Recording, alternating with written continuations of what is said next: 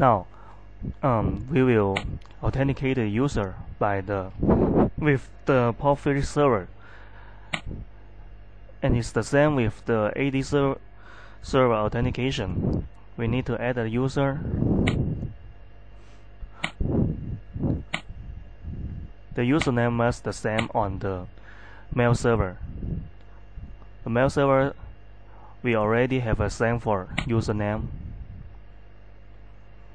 So we need to create a user. The name is for.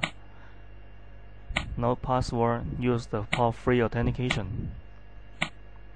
Click OK.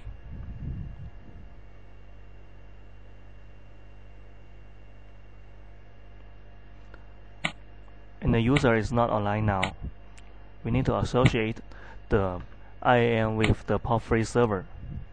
We choose POP3 server here and type the IP of the POP3 server.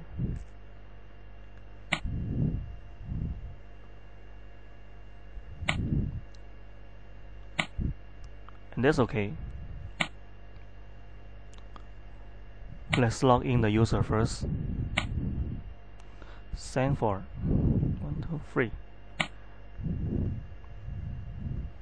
Okay, we log in. Let's see the online user list.